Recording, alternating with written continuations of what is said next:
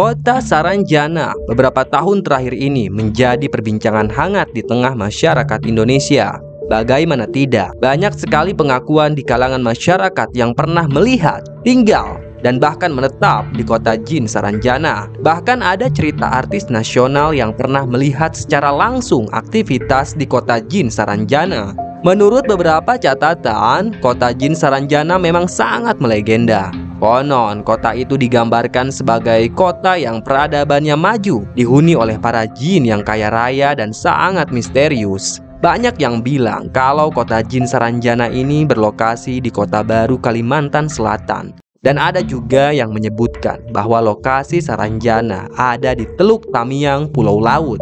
Nah, dari catatan itulah, kali ini Mbah mau cerita tentang kisah seorang pedagang cilok yang secara tidak sengaja terjebak di kota Jin Saranjana. Bahkan pedagang cilok ini sempat lebaran di sana, menyaksikan keanehan dan kemeriahan di kota Jin Saranjana. Tanpa banyak basa-basi lagi, langsung aja kita simak ceritanya.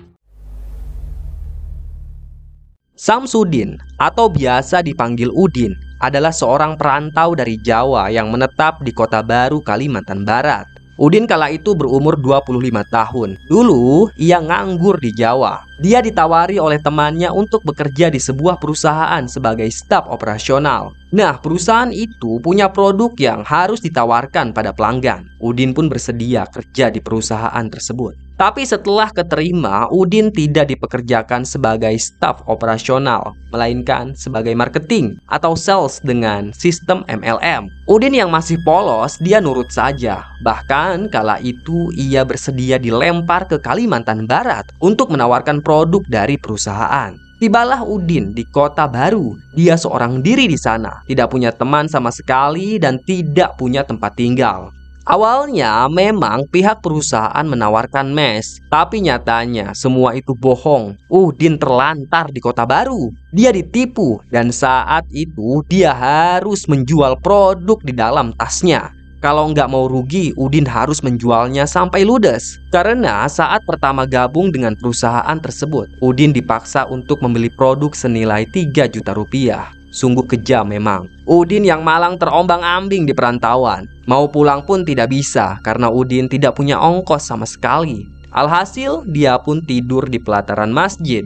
Terkadang Udin juga tidur di pelataran toko Cina Bahkan dagangan milik Udin susah sekali terjual. Dan selama lima hari lamanya, Udin berhutang ke sebuah warung makan di kota itu. Untung saja si pemilik warung sangat baik. Dia memberi utang ke siapa pun yang kelaparan di kota tersebut. Namun anehnya, warung makan itu tidak bangkrut, malah terus berkembang. Singkat cerita, di hari Jumat yang berkah, Udin duduk di warung makan itu sambil menikmati sarapan paginya. Dan tiba-tiba, ada seorang lelaki yang umurnya kisaran 50 tahunan mendekati si Udin. Dia duduk tepat di hadapan Udin. Penampilan si lelaki tua di hadapan Udin tampak seperti pengemis. Bajunya lusuh dan bolong-bolong. Celananya compang-camping. Sesekali Udin melirik ke lelaki tua yang sedang makan dengan lahap itu. Sementara si lelaki tua masih terus makan. Dia sangat kelaparan. Beberapa saat kemudian, lelaki tua itu pun selesai makan dan tiba-tiba saja dia bertanya pada Udin, Kau jualan ya? Tanya si lelaki tua sambil mengelap mulutnya dengan tisu. Oh iya pak, saya jual obat herbal. Tanya Udin. Coba saya lihat, kata lelaki itu. Udin menyerahkan salah satu produknya ke si lelaki tua tersebut.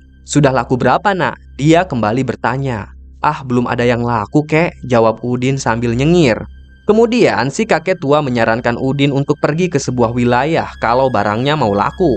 Lokasinya ada di pesisir pantai. Kata si bapak tua itu, setiap jam 2 malam selalu ada rombongan orang yang bertamasya di sana. Tentu Udin terheran-heran karena mana mungkin ada orang yang bertamasya di jam segitu. Dia pun tidak percaya pada omongan si bapak tua. Beberapa saat kemudian, bapak tua itu pun berdiri. Lalu dia merogoh uang. Uang yang ia rogoh sangat banyak, ada segepok.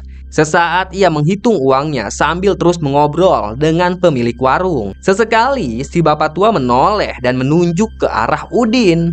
Entah apa yang sedang mereka bicarakan. Udin juga tidak mau ambil pusing. Dia masih menikmati sarapannya.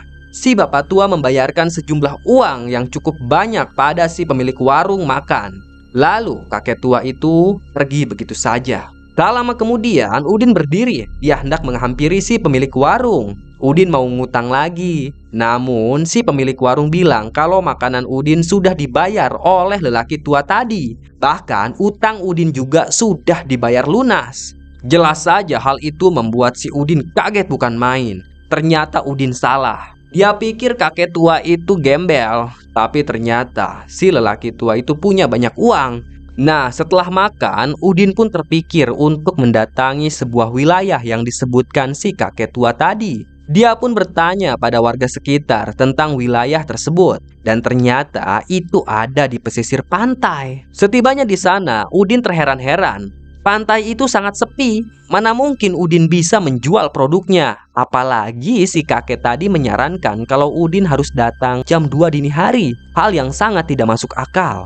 Odin pun tidak mau mempercayai omongan si kakek tersebut. Dia pun pulang dan kembali ke mall untuk menjajakan barang dagangannya. Dari pagi sampai sore, barang dagangannya itu tidak ada yang laku satupun. Udin sangat cemas. Bagaimana dia bisa menyambung hidup? Dia pun melamun di pelataran toko. Malam itu, Udin tidak bisa tidur. Dia masih memikirkan omongan si kakek. Apakah benar di jam 2 dini hari pesisir pantai itu ramai oleh pengunjung? Daripada kepikiran terus, akhirnya dia pun berangkat ke sana. Dan tepat jam 2 dini hari, Udin tiba di pesisir pantai. Betapa terkejutnya si Udin saat melihat pesisir pantai itu ramai sekali oleh pengunjung. Banyak orang-orang di sana dan mereka semua berpenampilan sangat necis atau elegan. Ibu-ibunya berpenampilan seperti sosialita, memakai emas, bahkan berlian. Sementara bapak-bapaknya mengenakan kemeja yang sangat indah. Kemeja itu pastilah mahal, tapi ada yang aneh dari mereka. Semua orang di sana memakai pakaian putih. Udin tidak curiga sama sekali, karena bisa jadi para pengunjung itu sedang merayakan sesuatu, seperti ulang tahun dan pernikahan. Udin pun semangat. Dia langsung menghampiri kerumunan orang tersebut, dan dia menjajakan barang dagangannya. Tak butuh waktu lama, barang dagangannya itu pun ludes terjual Bahkan bukan hanya produknya saja yang terjual, tas rombeng Udin pun ada yang beli.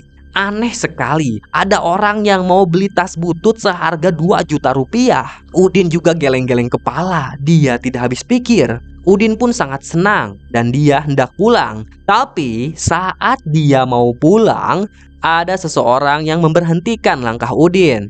Ada apa pak? Tanya Udin sambil tersenyum. E, nak, boleh nggak bapak beli baju kamu? Udin pun kaget. Kok bisa ada orang yang mau beli bajunya padahal baju itu sudah butut dan juga bau karena sudah lama tidak dicuci. Yang benar aja pak, ini kan baju butut, tanya Udin. Saya suka bajunya, sini saya beli. Berapa? Tanya bapak itu. Waduh, saya nggak enak pak, ini kan baju jelek, kata Udin. Tapi bapak itu tetap memaksa. Bahkan si bapak misterius itu mengeluarkan uang sebesar satu juta rupiah. Udin semakin senang saja. Udin pun langsung melepas bajunya setelah disodorkan uang satu juta rupiah. Kemudian Udin pun hendak pulang. Tapi lagi-lagi ada seseorang yang memberhentikan langkah Udin. Kali ini cewek, mungkin umurnya 20 tahunan. Dan anehnya lagi, cewek cantik itu mau beli celananya si Udin. Bahkan harganya lebih mahal dari si bapak tadi. Sini kak aku beli 3 juta, kata cewek tersebut. Wah, Udin pun dengan senang hati membuka celananya. Alhasil, Udin hanya pakai kolor saja. Celana itu ia berikan pada cewek cantik. Lalu, Udin mengambil uang tersebut. Udin sangat senang. Dia pun pergi dari sana dengan hanya menggunakan kolor saja. Nah, karena sudah punya uang, keesokan harinya Udin langsung cari kontrakan. Dia tidak jadi pulang ke Jawa karena menurut Udin, di kota baru itu kesempatannya lebih luas. Dia mau buka usaha di sana. Istilahnya mau dagang lah. Apalagi Udin sudah punya lapak di pesisir pantai yang selalu ramai oleh orang-orang misterius setiap jam 2 dini hari. Tak butuh waktu lama, Udin pun menemukan kontrakan yang cocok untuknya. Kontrakan itu tidak terlalu murah dan tidak terlalu mahal. Sedanglah Sebulan Udin harus bayar sekitar 700 ribu rupiah, setimpal dengan fasilitas yang Udin dapatkan. Ternyata kontrakan tersebut dihuni oleh para pedagang, dan para pedagang itu rata-rata rantauan. Mereka merantau ke kota baru untuk usaha. Ada yang dagang rujak, ada yang dagang cilok, ada yang dagang bubur. Nah, bisa dibilang mereka adalah komunitas pedagang di sana. Baru dua hari ngontrak di sana, Udin langsung dapat ide untuk buka usaha. Dia memilih dagang cilok. Karena menurut Udin, cilok ini mudah dibuat, harganya juga tidak terlalu mahal, bahkan terbilang murah, satu butir hanya 500 perak. Udin yakin pasti ciloknya laku, dan dia akan dagang di jam 2 dini hari, tepatnya di pantai tersebut. Udin pun beli gerobak, beli bahan baku, dan dia juga belajar pada tukang cilok yang ngontrak di sana. Hanya butuh satu minggu, akhirnya Udin siap untuk jualan. Tapi semua orang yang ada di sana terheran-heran pada Udin lantaran si Udin ini dagangnya tidak di pagi hari, tidak di siang hari atau sore, melainkan karena setiap jam satu dini hari Udin keluar dari kontrakannya membawa gerobak. Semua orang yang ada di sana terheran-heran, mau dagang ke mana si Udin ini? Beberapa orang temannya menggerutu, jangan-jangan Udin ini mau ngedagangin setan. Tapi Udin tidak peduli, yang penting dagangannya laris manis. Dan tibalah Udin di pesisir pantai. Di sana sudah ramai sekali pengunjung. Udin bahkan tidak tahu dengan jelas orang-orang itu sedang ngapain di pantai. Tapi Udin tidak peduli. Masa bodoh, yang penting dagangannya laku laris manis. Dan benar saja, baru dua jam jualan, dagangan Udin ludes dibeli. Semua orang yang beli ciloknya Udin itu pakai uang pecahan 50 ribu. Dan mereka semua tidak mau kembalian. Jadi Udin sangat senang dia dapat banyak uang dari sana. Tepat jam setengah lima, Udin pun pulang. Dia sempat berhenti di sebuah masjid. Kemudian Udin pun sholat subuh di sana. Setelah selesai sholat subuh, Udin pun keluar dari masjid. Kemudian dia pulang ke kontrakannya. Namun di perjalanan pulang, tiba-tiba saja Udin dicegat oleh tiga orang lelaki berbadan besar dan tinggi. Memang saat itu hari masih gelap, masih remang-remang, sehingga tindak kejahatan bisa saja terjadi. Udin dicegat dan dibegal. Uang hasil jualannya dirampas oleh ketiga preman itu. Tapi Udin tidak mau tinggal diam. Dia melawan. Udin sempat menyabetkan panci ciloknya pada salah satu preman tadi. Karena tidak terima, sang preman pun langsung memukuli Udin habis-habisan. Gerobak Udin ditendang sampai hancur. Udin juga dipegangi, lalu terus dipukuli sampai babak belur. Udin terkapar pingsan di tengah-tengah jalan. Singkat cerita, hari pun mulai siang. Warga menemukan Udin terkapar tak berdaya di tengah jalan. Segera si Udin pun dibawa ke puskesmas. Di puskesmas itulah Udin dirawat. Dia pun siuman. Kemudian Udin memberi kesaksian kalau dia sempat dibegal oleh ketiga preman tersebut. Udin pun memberi kesaksian kalau dia dibegal oleh tiga orang preman. Nah, usut punya usut, di jalan itu memang sering terjadi tindak kejahatan. Makanya orang-orang takut melewati jalan tersebut. Nah, ternyata yang membegal si Udin ini bernama Fadil.